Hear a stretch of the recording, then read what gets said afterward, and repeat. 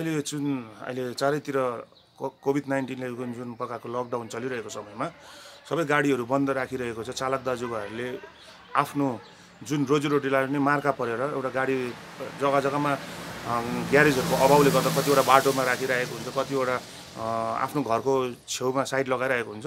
तर अहिले जुन असामाजिक तत्त्वहरूले जुन प्रकारका गाडीहरू लगेर कोही जङ्गलतिर फालिरहेको अनि कोही जग्गातिर लगेर खोला नालाकोतिर फ्याँकिरहेको अनि जति सक्दो चाहिँ हामीलाई लाग्दछ कि यो यो गाडी चोर्ने चोरी गर्नुको लागि एउटा व्यवस्था मिलाउँदैछ जस्तो हामीलाई लाग्दछ। र हामी यो चालक महासङ्घको तर्फबाट एकदमै घोर विरोध गर्न चाहन्छौँ। र त्यसले गर्दाखेरि चाहिँ अहिले यो जुन यो अस्तव्यस्त भइरहेको समयमा जुन प्रकारको असामाजिक तत्त्वहरूले जुन यो कार्य गर्दैछ यसमा चाहिँ हाम्रो पुलिस प्रशासनले पनि अलिकति निगरानी राखिदिने हामी अनुरोध गर्न चाहन्छौँ र पेट्रोलिङ रातिको नाइटको पेट्रोलिङ पनि भइदियोस् भन्ने कुरा हामी अनुरोध गर्न चाहन्छौँ। र विशेष कुरो अनुरोध पुलिस प्रशासनलाई मात्रै नभएर गाउँको समाजको वरिष्ठ नागरिकहरू र जति पनि समाज चलाउने व्यक्तित्वहरूले पनि यसलाई निगरानी राखिदिने। केही दिन अगाडि तपाईँले गिद्धेमा पनि तपाईँले देख्नुभयो टुरिस्ट लज जिटिएको टुरिस्ट जलाउने जलाइने प्रयास भयो दुईवटा गाडी जलाउने भयो। आज मात्र तपाईँले देख्नुहुँदैछ अ, यो पोलिटेक्निकको छेउको गाडी चोरिएर लगेको अनि त्यस पछाडि यो सुदापा टोलको पनि गाडी लगेर चोरेर यो जङ्गलमा फालिरहेको हामीले देख्यौँ। र यो चाहिँ एकदमै एकदमै निन्दयपूर्ण घटना हो।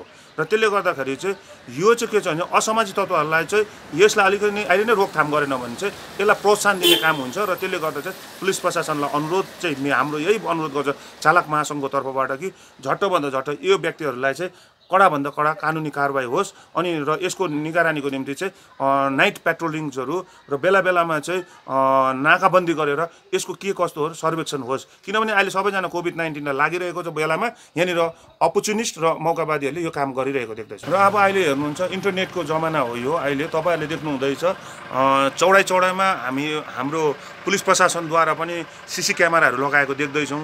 अनि जति पनि चौडाइतिर हामीले कतिवटा सिसी क्यामेराहरू चलेको छैन भनेदेखिलाई त्यसलाई पनि त्यसलाई एक्टिभ गराइवरिकन यो जुन सिसी क्यामेराको माध्यमद्वारा चाहिँ यो जुन असामाजिक तत्त्वहरूलाई चाहिँ पक्राउनमा चाहिँ मद्दत पुग्छ जस्तो हामीलाई लाग्छ र यो सिसी क्यामेराहरूको निम्ति हामी खरसाङ नगरपालिकालाई पनि यो अनुरोध गर्न चाहन्छौँ चाँडोभन्दा चाँडो चारैपट्टि यो सिसी क्यामेराहरूको पनि प्रावधान र व्यवस्था गरिदियोस्। किनभने धेरै मात्रामा चाहिँ खरसाङ क्षेत्रमा नै यहाँनिर यो गाडी चोर्ने र गाडी लगेर कतैतिर फालिदिने यो चेष्टाहरू प्रयासहरू हुँदैछ र त्यसले गर्दाखेरि यस अस- असामाजिक तत्त्वहरूलाई रोक्नको निम्ति चाहिँ खरसाङ नगरपालिकाले पनि यसको चाहिँ अहम भूमिका निर्वाह गरिदिन्छ भने हामी आग्रह गर्दछौँ।